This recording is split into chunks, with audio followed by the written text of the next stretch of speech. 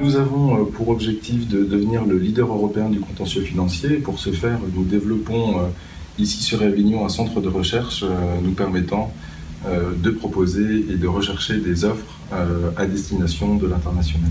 Dans le développement de, l'entreprise, nous souhaitons ouvrir notre première boutique, lerecours.com, permettant d'aller à la rencontre de, nos clients. Donc cette première boutique verra le jour d'ici quelques semaines à Avignon, avant effectivement d'ouvrir d'autres boutiques sur le, sur le reste de la France.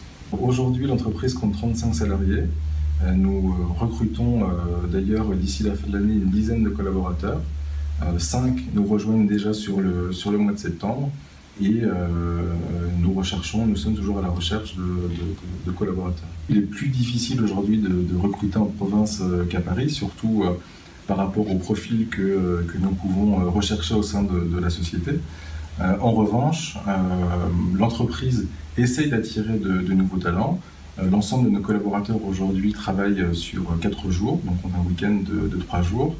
Et euh, nous proposons d'ailleurs euh, à nos collaborateurs des, euh, formations tout au long de l'année leur permettant d'ouvrir leurs perspectives grâce à des interventions diverses et variées. Nous recrutons d'ailleurs plusieurs profils d'ici la fin de l'année, des profils d'analystes financiers des profils de juristes. Nous recherchons également des profils commerciaux pour nous aider à nous développer sur Avignon et sur le reste de la France.